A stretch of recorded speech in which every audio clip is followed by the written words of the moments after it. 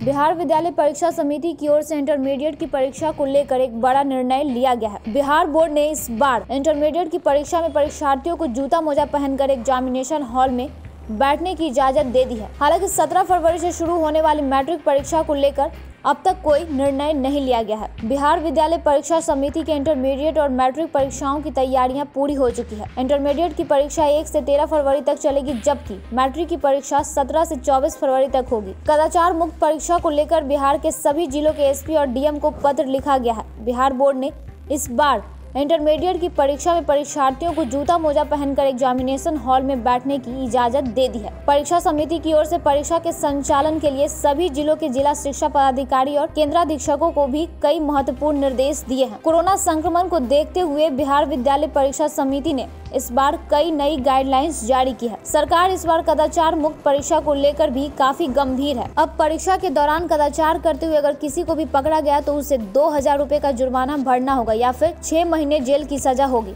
ज़रूरत पड़ने पर दोनों सजा एक साथ भी हो सकती है। शिक्षा विभाग की ओर से जिला अधिकारियों और पुलिस अधीक्षकों को लिखे गए पत्र में यह कहा गया है कि संवेदनशील परीक्षा केंद्र पर नियमित पुलिस बल की तैनाती की जाए। एग्ज़ाम सेंटर के मुख्य स्थलों पर सीसीटीवी कैमरे लगाए जाए और परीक्षा केंद्र के बाहर वीडियोग्राफी कराई जाए। एग्ज़ाम के समय जिलों में फ़ोटो स्टेट की दुकानों पर विशेष निगरानी रखी जाए। सरकार ने कहा है कि जिन परीक्षा केंद्रों पर कदाचार की सूचना मिलेगी, वहाँ की परीक्षा रद्द कर दी जाएगी।